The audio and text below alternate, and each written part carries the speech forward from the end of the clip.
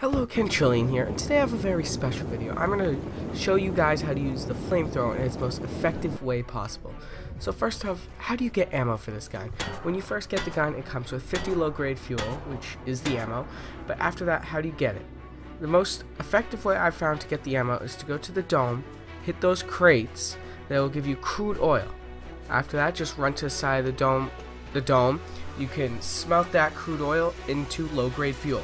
So uh, for every one crude oil you get, it'll make three low-grade fuel. It takes some wood to burn, but it really is the most effective way, and you'll find yourself getting a lot of ammo at a time, especially when you have friends helping you. Now that we learned how to get fuel for the gun, let's learn how to use it. So to start off, this gun has a range of three foundations. So that means you can hit people, walls, whatever, as long as they're in a three foundation radius. So next, one way to use this gun is to herd people where to go. So if you have big clans and you want them to go to a certain spot, put down fire, and they won't only be able to go where there's no fire, or they will take a lot of damage. Second, to use this gun the most effective, you want to burst and wait.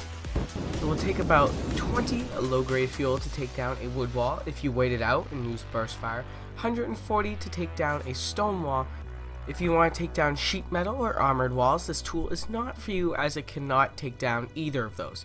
To take down a high uh, external wall that is wood, it'll take 40. To take down a stone high external wall, it'll take 120, and a ladder hatch, it'll take 60. So there are various things you can use them on, and of course, you're going to make the most of the weapon if you wait it out and let the standing fire do most of the damage. This will completely destroy wood bases and could get you a lot of loot. Lastly, it'll last about 12 seconds to stream, and you can kill a naked in 12 seconds, and a fully armored in 15 seconds.